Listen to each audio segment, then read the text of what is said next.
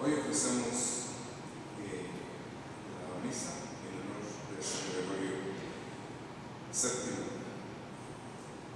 Eh, hoy, por lo general, se piensa que uno debe, uno ha de creer lo que uno le parezca bueno y rechazar lo que le parezca malo o difícil, como si la fe fuera producto de la democracia.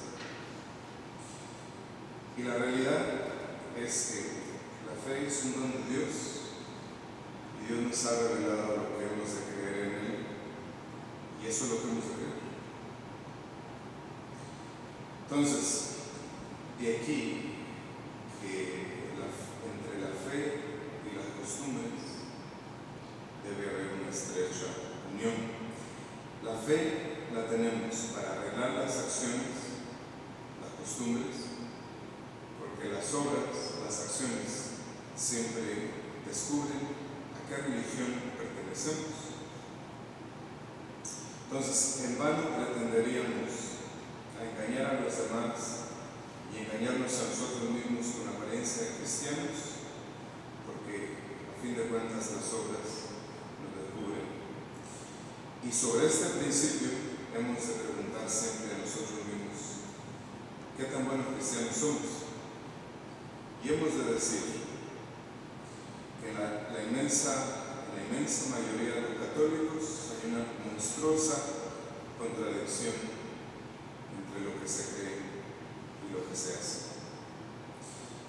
Y por eso hemos de decir que entre los mismos cristianos habemos muchos que somos infieles.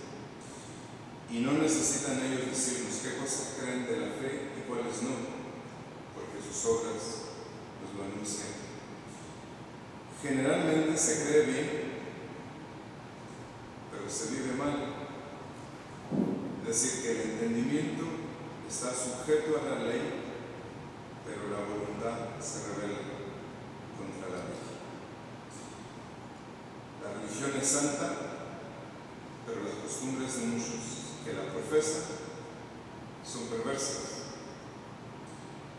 Se puede tener en la inteligencia grandes verdades, pero por lo general el corazón es impío, desarreglado y libre. Es decir, que se cree todo lo que obliga a una vida santa, pero se obra de manera que desmiente a lo que se cree. Por ejemplo, muchos por la mañana van a misa y por la noche a la diversión, al baile. En ciertos días comulgan por bien parecer pocas horas después a todo tipo de excesos y de disolución. Así viven muchos católicos. Y si esto, si a esto no se le llama mojiganga o máscara de devoción, entonces, ¿qué cosa merecerá este nombre? Ahora bien, es deplorable, sin duda, la suerte aquellos que han nacido fuera de la iglesia o que están fuera de la iglesia, que no tienen derecho a la gloria eterna. Eso es deplorable. Pero será menor la desgracia de ser hijos de la iglesia y hacernos indignos de esta misma gloria a la cual teníamos legítimo derecho por la gracia del bautismo. ¿Cuál será peor? ¿O no creer cosa alguna de las que se deben creer? ¿O no, no hacer nada de lo que se debe lograr en virtud de lo que se debe creer? No es hacer ridículas las cosas más sagradas el hacer unas veces papel de cristiano y otras papel de pagano.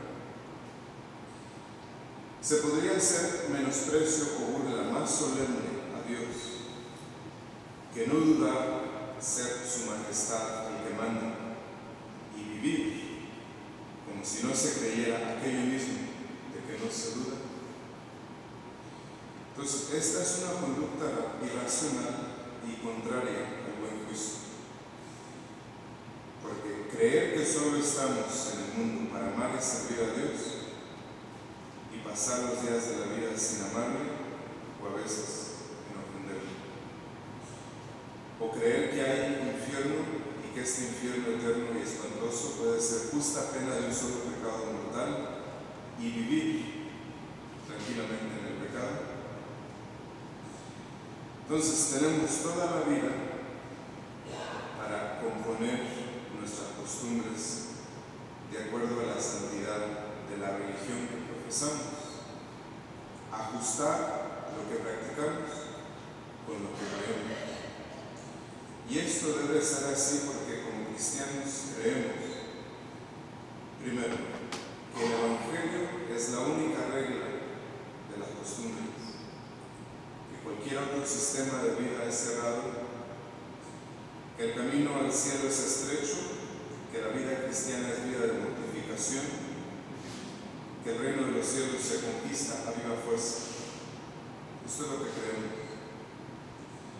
Fuera de esto, cualquier otra creencia es enemiga de Jesucristo y de su Evangelio. Total, que la fe no es algo que cualquiera de nosotros puede decir qué cosas creer y qué cosas no creer. Esto no nos lo revela ni la carne ni la sangre, sino nuestro Padre Celestial. Y Él ha dicho, y lo continúa diciendo por la iglesia, que las cosas son así y que las cosas serán así hasta el final del mundo, porque esta ley nunca cambia. Entonces, no creer o no tener fe es ciertamente la mayor de todas las